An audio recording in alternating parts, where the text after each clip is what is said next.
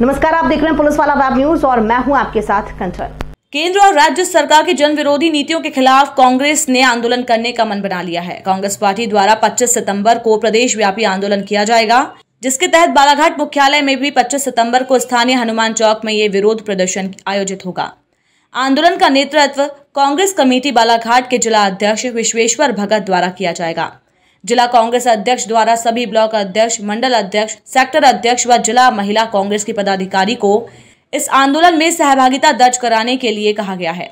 आंदोलन के केंद्र में जन सामान्य के अलावा स्थानीय मुद्दे भी होंगे। बेरोजगारी, महँगाई, कृषि कानून, जासूसी कांड, कुटीर उद्योग कोविड 19 के तहत जान गंवाने वाले परिवारों को मुआवजे की मांग, कांग्रेस की न्याय योजना के तहत सात हज़ार सौ महीना राशि का वितरण जैसे मुद्दे कांग्रेस प्रमुखता से उठाएगी। यह आंदोलन मध्य प्रदेश के पूर्व मुख्यमंत्री एवं प्रदेश कांग्रेस अध्यक्ष कमलनाथ के निर्देश पर किया जाएगा। जैसा कि प्रदेश के पूर्व मुख्यमंत्री कमलनाथ ने उद्योगों में स्थानीय शिक्षित बेरोजगारों को 70 प्रतिशत रोज़गार देने का वादा किया था, वही मांग इस आंदोलन में भी दोहराई जाएगी। उक्ताशय की जानकारी कांग्रेस जिला अध्यक्ष विश्वेश्वर भगत ने आज जिला कांग्रेस कार्यालय में आयोजित प्रेस वार्ता के माध्यम से दी।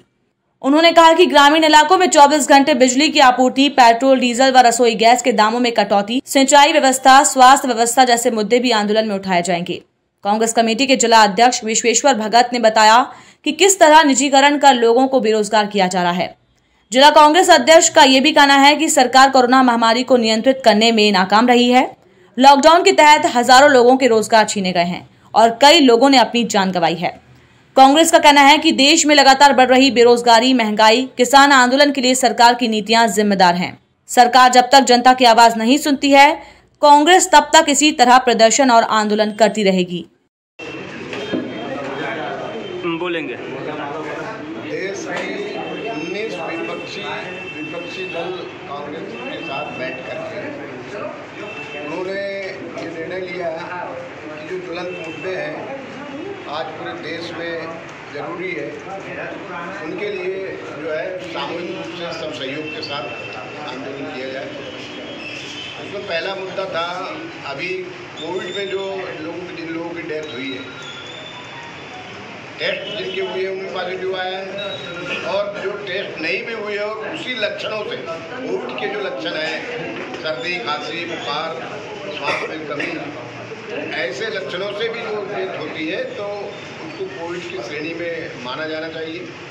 और उनको जो सहायता राशि पाँच लाख रुपए प्रति व्यक्ति के हिसाब से जनरल दस की मांग की थी, शायद प्रधानमंत्री साहब देने की पाँच लाख के इसमें उनमें है।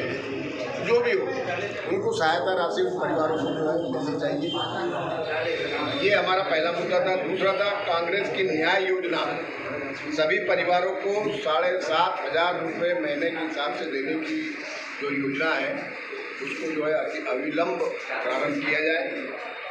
तीसरी थी जो कृषि, तीन कृषि काले कानून जो के लिए देश के वो किसान, हरियाणा, पंजाब, हिमाचल प्रदेश, पश्चिम उत्तर प्रदेश, राजस्थान, मध्य प्रदेश का भी कुछ हिस्सा और गुजरात का भी कुछ हिस्सा तो जो नॉर्थ इंडिया के जो हमारे, प्रदेश है, वहाँ के किसानों ने पिछले दस महीने से आंदोलनरत है। सरकार उनको, उस आंदोलन को कुचलने के लिए बहुत प्रयत्न किया है। कई तरह के नकली किसानों के संगठन बना करके सामने लाने का काम हुआ। मगर किसानों की गले वो बात नहीं उतर रही है और उन लोगों ने संकल्प लिया है भले ही हमारे प्राण चले जाए। मगर अब किसानों की लड़ाई जो है, जब तक ये काले कानून सरकार वापस नहीं लेती, तब तक जो है हम सतत आंदोलन करते रहेंगे। और उसी का परिणाम है कि उन कानून, उन काले कानून के तहत अभी कोई उसका एक्शन में नहीं किए कानून ज़रूर बना दिए मगर उसको फ़ील्ड में एक्शन में नहीं लाए उनके आंदोलन के ही कारण है। और साथ ही उन एग्रीकल्चर सेक्टर स्वतंत्र मगर अब जो है वो, जो कारपोरेट घराने जो है, उन कारपोरेट घरानों को सोचने के मूड में है। कि हम पैदा किसान करें और जो है उसको बेचने का धंधा प्रोसेसिंग और ये वो सब जो है, ये सब वो घराने करे, अडानी अंबानी जो भी उनके वो है, ये उनका प्लान है। कई जगह उनका बनना चालू हो गए बहुत से स्टेट में? हरियाणा में उन्होंने किया है। उत्तर प्रदेश में भी उनकी गोडाउन बनना जारी है, अंबानी जी की। तो इसके लिए भी जो है, इस काले कानून को वापस लिया जाए। ये कांग्रेस की और सभी विपक्षी की मांग है तीसरा था कि ये अभी हमारा देश जो है इतने भयंकर एक तो तुम्हारी नोटबंदी से त्रस्त हो गया पूरा नोटबंदी से पूरे हमारे इंडस्ट्रियल सेक्टर पूरा त्रस्त हो गया। और उसके बाद जीएसटी से पूरी तरह से लोग विचलित हो गए। उसके बाद ये कोविड ने कोविड में भी सारे जो धंधे लोगों के बंद हो गए चौपट हो गए। लोगों को जो पुरानी पूंजी थोड़ी बहुत भी जमा थी उसको बेचारे अपने इसमें आखिरी करके उसको ही करना पड़ा। आज जो है लोग जो है पूरी तरह से विचलित है। इस मुद्दों को लेकर इन मुद्दों को लेकर के हम लोग जो है ये कर रहे हैं।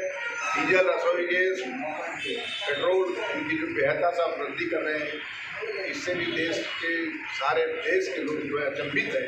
कि आखिर अंतर्राष्ट्रीय व्यापार में कहीं अंतर्राष्ट्रीय बाज़ार में कहीं भी डीजल, पेट्रोल के कच्चे तेल के रेट नहीं बढ़े, उसके बावजूद मोदी जी धनातन धनातन धनातन सत्तर रुपये से सौ रुपये के ऊपर चला दिए तो ये जो वृद्धि, जो मनमानी वृद्धि जो हो रही है, इसके लिए भी जो है पूरे देश के लोग अचंभित है।